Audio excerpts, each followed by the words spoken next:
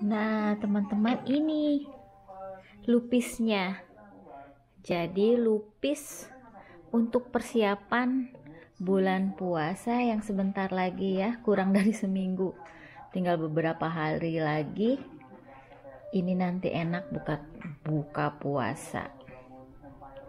Selamat menikmati lupisnya. Coba saya coba dulu.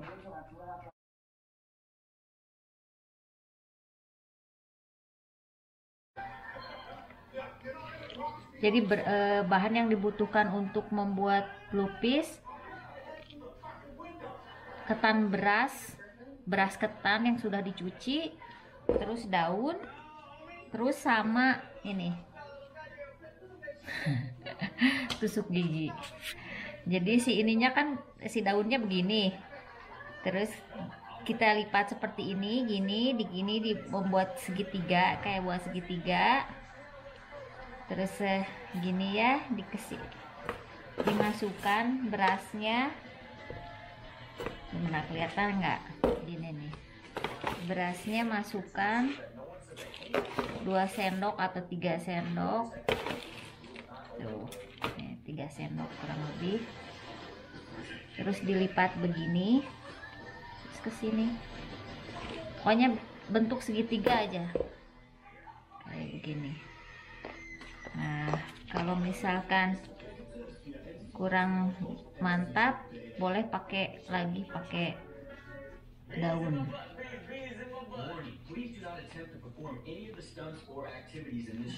Terus dilipat-lipat kayak gini aja. Langsung dikasih tusuk gigi.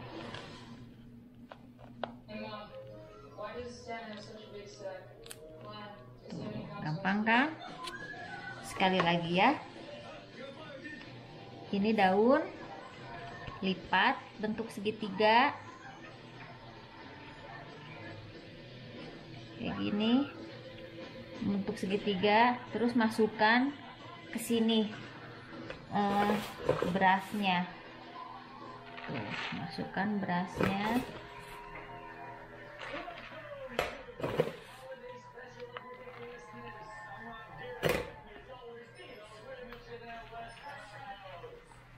terus dilipat.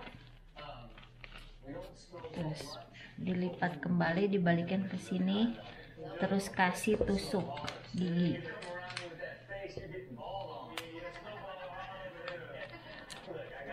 Gampang kan?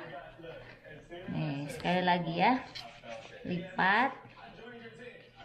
Untuk segitiga. Masukkan beras.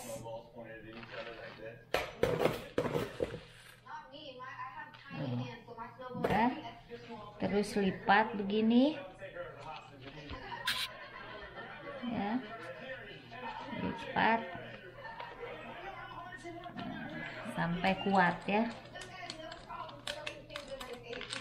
Kasih tusukan. Uh. Tuh udah. Ini ini udah kuat segini. Ini bolong. Ya. Kalau bolong bisa ditutup pakai yang pokoknya simple aja gini ya. Nah ini kan udah rapih ya.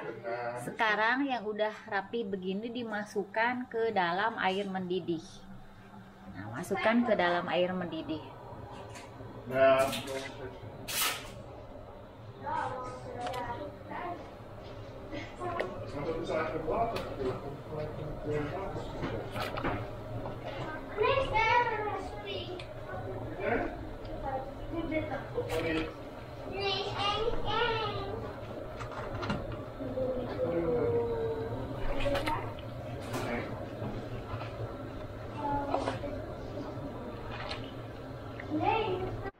Ini masuk semuanya ya. Jadi semuanya harus terendam air. Jadi hasilnya bisa bagus. Kita lihat uh, nanti. Kira-kira uh, satu jam di dalam air ya dikukus sampai sampai mateng ketannya lupisnya. Ini lupisnya. Saya coba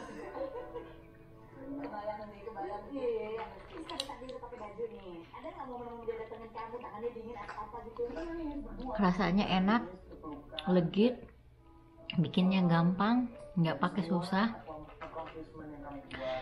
Uh, dan bisa menjadi uh, menu berbuka puasa yang akan sebentar lagi. Saya Yayang di Belanda uh, mengucapkan selamat menjalankan ibadah puasa buat semua uh, kaum uh, muslim yang merai uh, yang menjalankannya. Mohon maaf lahir batin bila saya ada salah uh, kata atau uh, video yang kurang berkenan. Uh, sampai jumpa lagi